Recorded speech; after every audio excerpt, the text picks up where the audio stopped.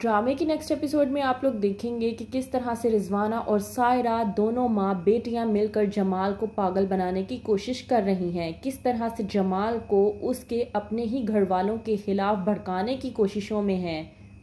ताकि अपना वो डेरा इस घर में मज़बूत कर सकें और उन्हें इस चीज़ की परेशानी ना हो कि उन्हें इस घर से कहीं और जाना पड़े और पहले की तरह की ज़िंदगी गुजारनी पड़े।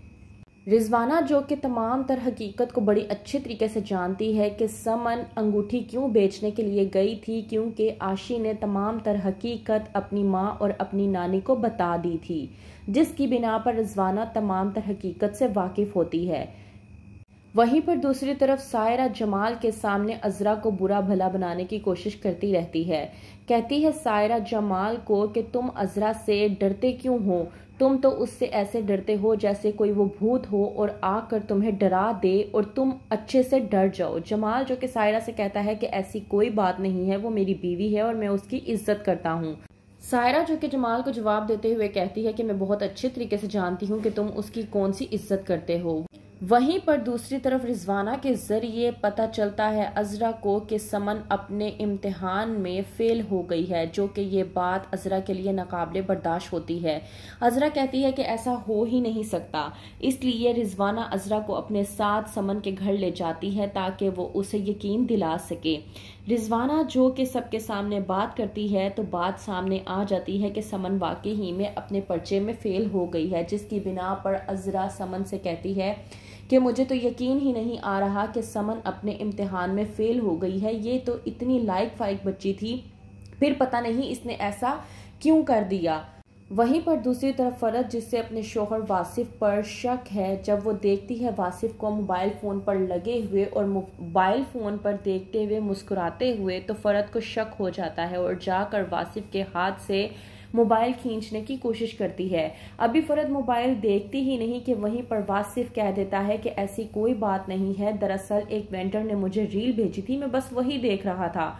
फरद गुस्से में आकर वासिफ से कहती है कि मैं बहुत अच्छे तरीके से जानती हूँ कि तुम किस तरह की रील्स देख रहे थे। तो मुझसे ये झूठ मत बोलो तो ही तुम्हारे लिए बेहतर होगा। और वैसे भी तुम मुझे धोखे में नहीं रख सकते। वहीं पर दूसरी तरफ़ रिजवाना जो के चाल चलने की कोशिश करती है जमाल के सामने, ताकि उसकी नातिन आशी का पर्दा भी बना रहे। जाती है जमाल के पास और जाकर कहती है कि मैंने समन को किसी लड़की के साथ देखा था। वो उस लड़की को कुछ पैसे दे रही थी और कह रही थी कि पर्चे आगे पीछे करवा कर नंबर बढ़वाने को। जमाल रिजवाना से कहता है कि मैं मान ही नहीं सकता कि समन ऐसा कुछ कर सकती है। समन बहुत ही लाइक फाइक और अच्छी लड़की है और मैं इस बात पर यकीन कर ही नहीं सकता कि समन ऐसी कोई हरकत कर सकती है। रिजवाना जो कि जमाल पर जादू चलाने की कोशिश करती है, कहती है कि तुम तो पागल हो, तुम्हें कुछ नज़र ही नहीं आता। मैं तुम्हें जो कुछ भी बता रही हूँ, वो बिल्कुल ठीक है।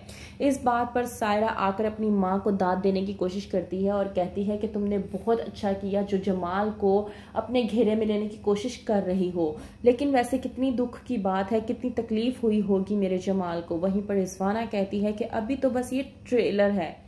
अभी तो जमाल के सामने बाकी किस्तें रखना बाकी हैं। फिर देखो जमाल के सामने हर किसी का कैसा कैसा राज सामने रखती हूँ, ताकि जमाल मुझ पर अंधा भरोसा करे और मैं जो बात करूँ, वो उसी बात पर यकीन करे। तो क्या करेगा जमाल? क्या वाकई ही में रिजवाना की बात मानकर समन पर शक करेगा और उसकी बात सुने बगैर उसे बेहद बातें सुनाएगा? क्या रिजवाना वाकई ही में कामयाब हो जाएगी समन को वलीद से अलहदा करने में? क्योंकि रिजवाना के दिलो दिमाग में जो चाल चल रही है, वो ये है कि वो अपनी नातिन आशी की शादी वलीद के साथ करवा दे, ताकि उसका इस घर में डेरा मज़बूत हो जाए। और सायरा को जमाल के साथ ब्याहने की साजिशें रच रही है। तो क्या रिजवाना अपनी इन साजिशों में कामयाब हो पाएगी या अजरा इन्हें नाकाम कर देगी? जानने के लिए देखते रहिए बेबी बाजी की बहुएँ।